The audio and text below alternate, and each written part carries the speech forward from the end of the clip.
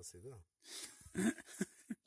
תשמע, אתם רגילים לזה, אני לא. אני לא... לא חסידות. מי לצלם, אני לא צלם. לא, אתם... אין לי את הקטע הזה של לצלם.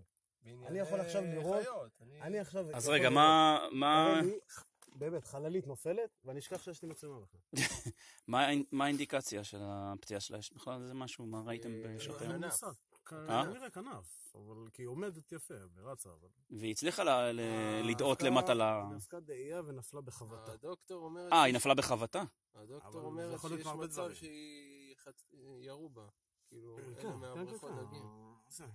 יש פה משהו גם קרוב? אופיר אמר שיש רוב הסיכויים. באפיקים. בכבד שעה. לא, חשבתי שממש קרוב, אבל הגיע עד לא. לכאן, זה יפה, כאילו. יכול להיות, אתה יודע, או שזה לא, יכול להיות אה, עשתה את הדרך שלה בהפסקות. לא... לא- כל פציעה, אתה יודע, כל דין כל פציעה הוא שונה. אין, אה, איפה הוא פגע בה, כמה היא, הגוף שלה חזק. קיצור, אה, הגפנו אותה עם שני. פנסים, שני כיוונים, סינוורנו אותה ותפסנו אותה עם חולצה. זהו, עכשיו מחכים לפינוי.